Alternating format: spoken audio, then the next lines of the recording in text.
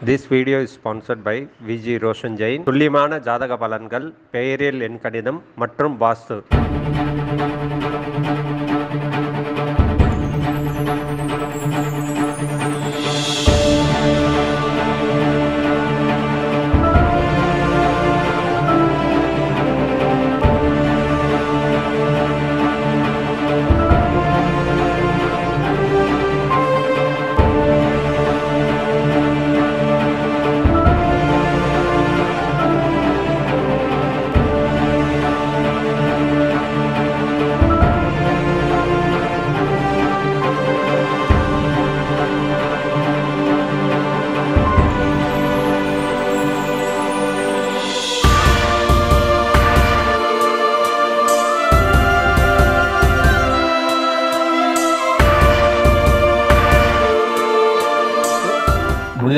Double shift work பண்ணுறதுக்கு எனக்கு இல்லைங்க மூணு shift morning two o'clock முடிச்சுட்டு மறுபடியும் ஃபைவ் வரைக்கும் சின்ன ஒரு ஒரு பேட்ச் ஒர்க் முடிச்சுட்டு போ- போங்க அப்படின்னு சொல்லி அப்படி பண்ணுறதுனால ரெஸ்ட் எடுத்துக்க முடியல. ஸோ கால் இப்படி வீங்கி போச்சு. லிட்ரலி ஷூக்குள்ளே கால் கூட நுழைய முடியாத அளவுக்கு கால் வீங்கி இருந்தது. கால் கீழே எடுத்து வைக்க முடியல. ஷூட்டிங் முடிக்கணும். என்னால் முடியாது அப்படின்னு சொல்கிற தாட்டே வரல எனக்கு. ஷூட்டிங் பண்ணணும் ஷூட்டிங் பண்ணுறதுக்கு நான் என்ன பண்ணணும் அப்படின்னு சொல்லிட்டு அந்த டிங்டாங் படத்து பாட்டோட ஷூட்டிங் ஒரு ஒயிட் ட்ரெஸ் பேண்ட்ஸ் மாதிரி போட்டிருப்பேன்.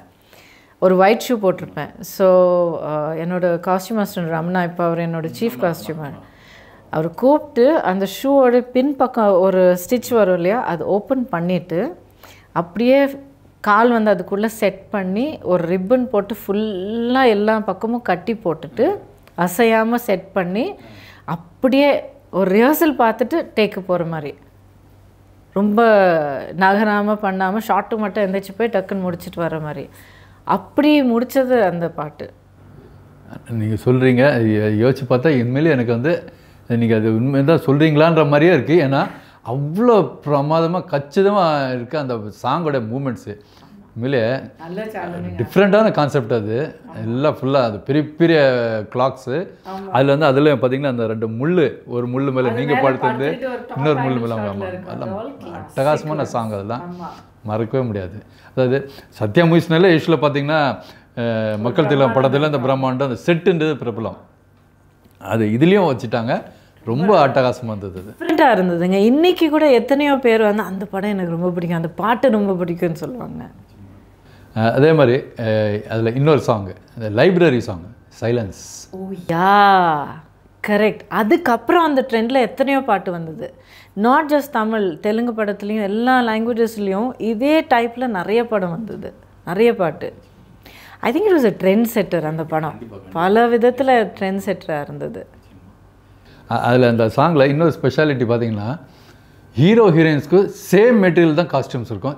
ரொம்ப மேட்சிங் அப்படியே. ஆமாம் கரெக்டு இப்போ நீங்கள் என்ன டாப் போடுறீங்க அதே கலர் மெட்டீரியல் தான் அவருக்கு ஷர்ட் அதே ஷர்ட் அந்த மாதிரிலாம் போட்டிருப்பாங்க அது மாதிரி ஃபுல்லாக ரொம்ப அட்டகாசமான.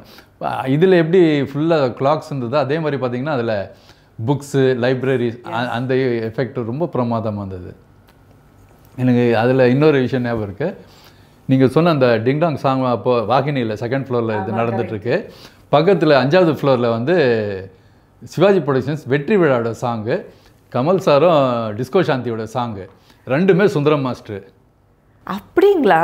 ரெண்டுமே சுந்தரம் மாஸ்டர் ரெண்டும் சுந்தரம் மாஸ்டர் பார்த்தீங்கன்னா சுந்தரம் மாஸ்டர் வந்து கமல் சார் பண்ணிட்டு இருக்காரு அங்கே வந்து உங்களுக்கு வந்து பணக்காரனுக்கு வந்து பிரபுதேவ மாஸ்டர் விட்டாரு. விட்டாரு. அதுக்கப்புறம் பிரேக்கில் வந்து நீங்கள் எல்லாரும் போயிட்டு மாப்பிள்ளை சாங்ஸ் அங்கே ப்ரிவ்யூ பார்த்தீங்க சாங் ப்ரொஜெக்ஷன் பார்த்தோம்.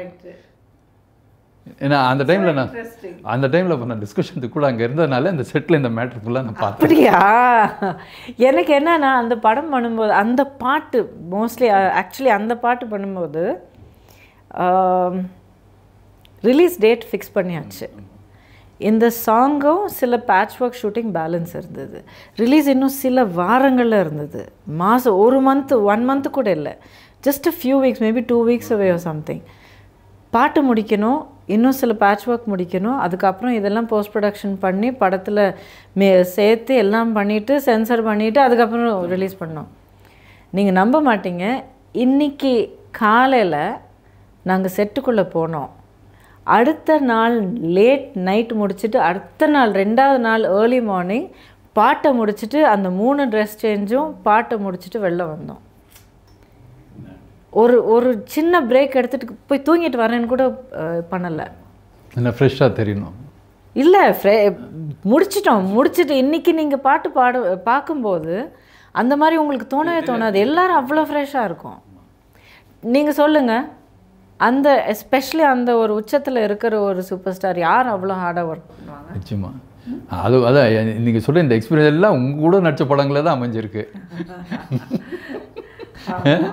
ஏன்னா இதுக்கு அடுத்த படமும் அதே போல தான் அது இன்னொரு அது இன்னொரு எக்ஸ்ட்ரீமான ஒரு படம். அண்ட் ஐ திங்க் அது ரஜினி சாருக்கு டெஃபினட்டாக அவருக்கு வந்து வித்தியாசமான ஒரு அந்த ஒரு கெட்டப் போடுறது அதெல்லாம் பண்ணுறது எனக்கு ரொம்ப டிஃப்ரெண்ட்டாக இருந்தது. கொஞ்சம் ஏஜ் கெட்டப் பண்ணி அந்த மாதிரி ஒரு ஒரு ரொம்ப ஹோம்லியான ஒரு கெட்டப் அந்த ஒரு சின்ன வயசுல இருந்து ஒரு மெச்சூர்ட் லுக் கொண்டு வர்றது. ஆமாம் எனக்கு ரொம்ப நல்லா இன்ட்ரெஸ்டிங்காக இருந்தது. எனக்கு எப்படி இருந்ததுன்னா நான் இண்டஸ்ட்ரியை எதிர்பாராமல் வந்ததுனால என்னுடைய ஒவ்வொரு அனுபவமே வந்து புதுசாக இருந்தது. எல்லாமே கற்றுக்கிறதுக்கான ஒரு வாய்ப்பு ஒரு ஒரு ஸ்பாஞ்ச் மாதிரி இருந்தேன் நான். ஸோ என்ன எந்த செட்டுக்கு போனாலும் யார் கூட ஒர்க் பண்ணாலும் இங்கே என்ன கற்றுக்கலாம் இங்கே என்ன புதுசாக தெரிஞ்சுக்கலாம்? இன்னும் என்ன பண்ணலாம்? அப்படிங்கிற ஒரு ஆர்வம் இருந்தது. அண்ட் நான் ரஜினி சார் கூட நடித்த இந்த நாலு படங்களுமே எனக்கு நாலு விதமான ஒரு எக்ஸ்பீரியன்ஸ் கிடச்சிருக்கு அதில். அண்ட் uh, தர்மதுரையில் நான் நடித்த அந்த ரஜினி சார் வந்து ஜெயிலேருந்து வெளில வந்த பிறகு என்னை தேடி வருவார் இல்லைங்களா? வரும்போது நான் ஒரு வீட்டில் அந்த கொல்லை பக்கத்தில் நான் பாத்திரம் கழுவிட்டு இருந்தேன். ஆமாம் கூப்பிடுவார். கூப்பிடும்போது நான் அப்படியே திரும்பி பார்ப்பேன். கீழே உட்காந்து பாத்திரம் க தேய்ச்சிருக்கிறது. அங்கேருந்து திரும்பி பார்ப்பேன். அங்கேருந்து ஒரு ரியாக்ஷன் அந்த சீன் போகும். அந்த அந்த சீனுடைய ஒரு அந்த இது நான் சொல்லணும் உங்களுக்கு. ஃபர்ஸ்ட் வந்து ராஜசேகர் சார் கேமரா வச்சு என்னுடைய க்ளோசஸ் எடுத்துட்டாரு. நான் நடிச்சிட்டேன். நடிச்சிட்டு எனக்கு ஒரு ஒரு பழக்கம் இருக்குது இன்னி வரைக்கும் நான் செட்டுக்குள்ளே போனேன்னா பேக்கப்பு அப்படின்னு சொல்கிற வரைக்கும் நான் செட்டு விட்டு வெளில வர மாட்டேன். ஷார்ட்டை முடிச்சுட்டு வெளில போய் உட்காந்து பேசுகிறது அந்த அந்த பழக்கம் எனக்கு ஆரம்பத்தில் இருந்து இல்லை. ஏன்னா ஏன் ஷாட் இல்லைன்னா அடுத்தவங்க என்ன நடிக்கிறாங்க? கேமரா பின்னால் என்ன நடக்குது? அந்த லைட் என்ன? இந்த டயலாக் ஏதோ ஒன்று தெரிஞ்சுக்கிட்டே இருக்கணும் அப்படிங்கிற ஒரு ஆர்வம். ஸோ என்னோடய க்ளோஸ்அப்ஸ் முடிச்சுட்டு நான் வழக்கம் போல் அங்கே வந்து உட்காந்து பார்க்க பார்த்துக்கிட்டே இருந்தேன். ரஜினி சார் வந்தார். என்னோடய பாயிண்ட் ஆஃப் வியூலேருந்து கேமரா வச்சு ரஜினி சாரோடைய க்ளோசஸ் எடுத்தார். எடுத்ததுக்கு? அடேங்க அப்பா. இப்படி நடிக்கிறாரா? அப்படின்ட்டு டக்குன்னு போய் எல்லாம் முடிச்சுட்டு கம்பைன் எடுத்துகிட்டு அடுத்த ஷாட்டுக்கு போகலான்ட்டு எல்லாம் கேமரா எல்லாம் எடுத்தாச்சு லைட்ஸ் எல்லாம் மாற்றியாச்சு நான் போய் ராஜசேகர்கிட்ட கேட்டேன். அது சார் இந்த மாதிரி எனக்கு ஒரு சின்ன ரிக்வெஸ்ட்டுன்னு என்னம்மா? அப்படின்னு கேட்டதுக்கு சார் என்னோடய க்ளோசஸ் ஃபர்ஸ்ட் எடுத்துட்டீங்க இல்லைங்களா? மறுபடியும் எடுக்க முடியுமா? அப்படின்னு கேட்டேன். என்னம்மா எதுக்கு அந்த மாதிரி கேட்குறீங்கன்னா இல்லை சார் நான் நடிச்சிட்டேன்.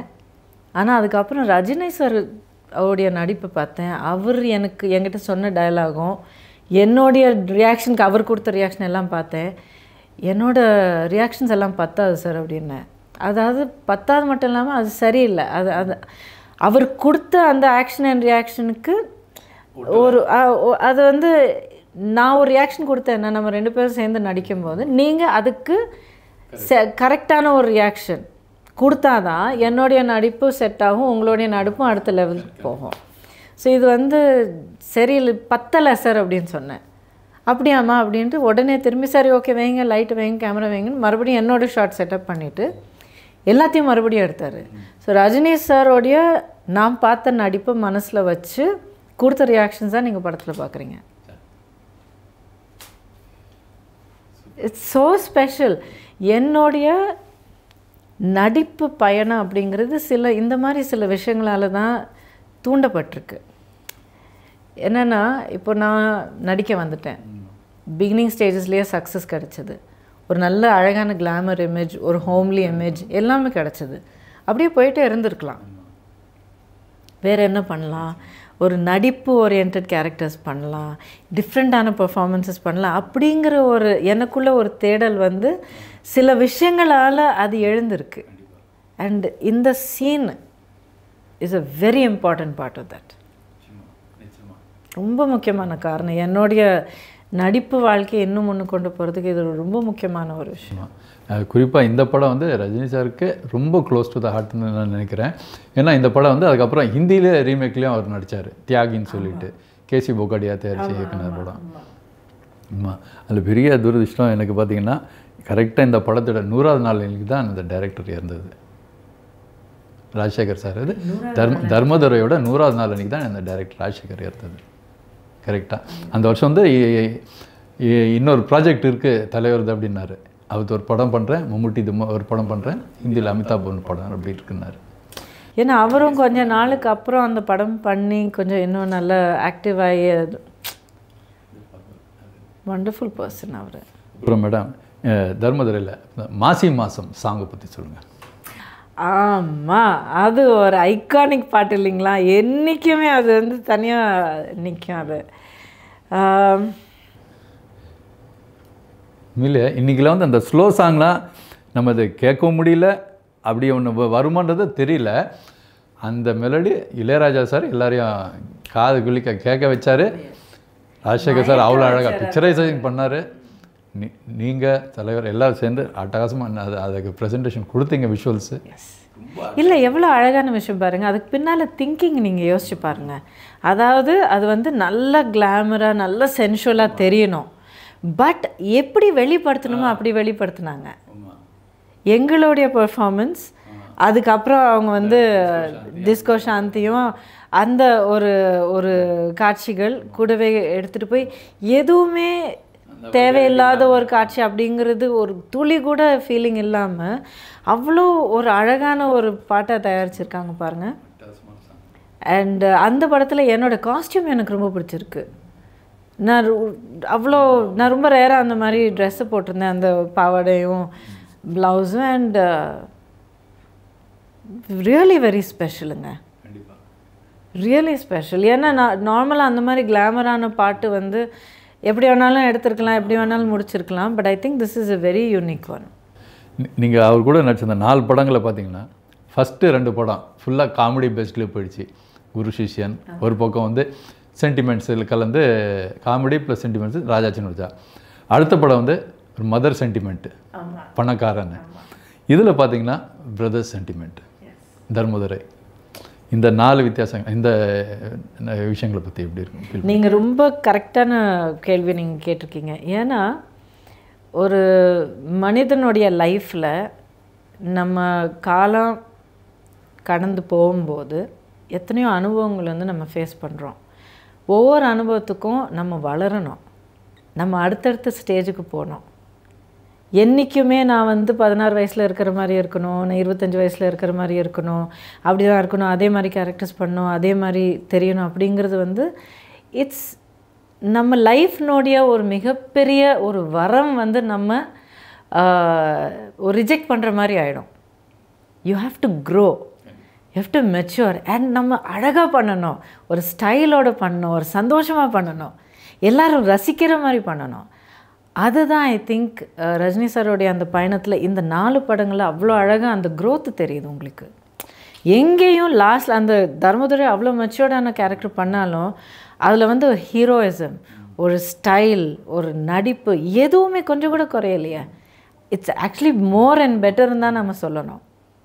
ஐ திங்க் அவர் லைஃப்பில் அவர் போயிட்டு இருந்த அந்த அந்த growth அவருடைய பர்சனல் ஜேர்னி அது எல்லாமே இந்த படங்களில் மூலியமாக உங்களுக்கு தெரிய வரும். ரொம்ப அழகான கேள்வி கேட்டிருக்கீங்க நீங்கள் இது வரைக்கும் யாரும் கேட்டதில்லை. தேங்க்யூ தேங்க்யூ மேடம் இதே தர்மதுரை சந்தைக்கு வந்த கிளி. ஐ லவ் தட் சாங் ரொம்ப எனக்கு அந்த பச்சை பாவாடை பாவாடை தாவணி அதுக்கப்புறம் மைசூரில் ஷூட்டிங் பண்ணோம். அண்ட் கொரியோகிராஃபி பார்க்கும்போது ரொம்ப பிடிச்சி போச்சு. ஸ்டெப்ஸ் டிஃப்ரெண்ட்டாக இருந்தது. அப்போவே கொரியோகிராஃபிக்கு டிஃப்ரெண்ட்டாக இருந்தது. அண்ட் சுந்தர மாஸ்டரோட ஒர்க் பண்ணுறது எனக்கு ரொம்ப பிடிக்கும். கொஞ்சம் இன்டர்மிடியேட்டிங்காக இருக்கும். ஏன்னா நான் சொன்ன ஆரம்பத்தில் நான் ஒரு டான்ஸர் கிடையாது. எனக்கு நான் டான்ஸிங் கற்றுக்கிட்டு வரல. எனக்கு டான்ஸிங்னு என்னன்னு தெரியாது. இத்தனை படங்கள் பண்ண பண்ண பழகிக்கிட்டேன் தவிர நான் என்றைக்குமே நான் கற்றுக்கல சுந்தர மாஸ்டருடைய ஸ்டைல் ரொம்ப டிஃப்ரெண்ட்டாக இருக்கும். எல்லா டான்சர்ஸோடைய ஸ்டைல் வந்து ட்ரெடிஷ்னல் பேஸ்ட் அந்த மாதிரி இருந்தால் இவரது வந்து ரொம்ப டிஃப்ரெண்ட்டாக இருக்கும். அது பிடிக்கிறதும் அந்த மாடர்ன் ஸ்டைல் ட்ரெடிஷ்னல் ஃபோக் பீட்டில் பண்ணி அதுக்கப்புறம் அதில் எக்ஸ்ப்ரெஷன் கலந்து நடிக்கிறது சூப்பர் ஸ்டாரோட ஸோ அதுக்குன்னு ஒரு ஒரு எக்ஸ்ட்ரா ஒரு ஒரு ஒரு லெவல் ஆஃப் ஒரு எனர்ஜி அதெல்லாம் இருக்கணும் அதில். எல்லாமே அமைஞ்சது அந்த இதில். ஸோ ஜனவரி ஃபர்ஸ்ட் அன்றைக்கி ஒரு நல்ல நாள். எங்கே ஒர்க் பண்ணுறீங்க யார் கூட ஒர்க் பண்ணுறீங்க என்ன எனர்ஜியோடு நீங்கள் ஆரம்பிக்கிறீங்க? எவ்வளோ இம்பார்ட்டன்ட் இல்லைங்களா? அண்ட் அப்படிப்பட்ட ஒரு முக்கியமான நாள் நான் வந்து ரஜினி சார் கூட ஒர்க் பண்ணியிருக்கிறது வந்து கண்டிப்பாக எனக்கு கரியரை பற்றி தெரியும் உங்களுக்கு. அதுக்கப்புறம் அப்படியே அப்படியே கஷ்டம். இது மட்டும் கண்டிப்பாக என்னால் சொல்லவே முடியாது.